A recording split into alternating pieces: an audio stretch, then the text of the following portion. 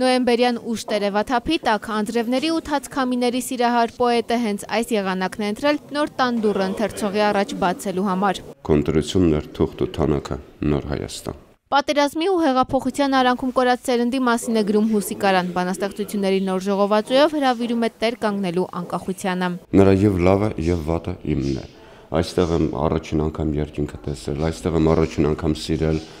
առաջին անգամ ցավը զգացել։ Տանդուրը Հուսիկ Արանն ծայագրել է իր ворթիներին, բայց այն նաև անկախ Հայաստանի բոլոր երիտասարդներին ուղված падգամ է։ Ամեն ինչից վեր Հայաստանն է, անկախ անկախությունն է։ Եթե մի բանի համար ես պատրաստ եմ արյունս տալ առանց մեկ մարտյան վարանելու, դա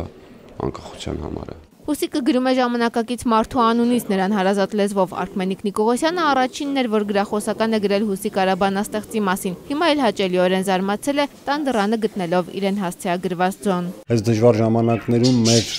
մշակութային գրական բեռը տանելու այդ ընկերակցության պես եմ ընկալել։ Հուսիկարայի տանդուրը սկսվում է ազատության հրապարակից ու անցնում անկախության ճանապարհով նոր Հայաստանը չափածոյում տեղավորած բանաստեղծը մտածում է հաջորդ գրքի ու նոր հանդիպման մասին։ Անի Հակոբյան, Գառնիկ Մելքոնյան, ժամը լրատվական։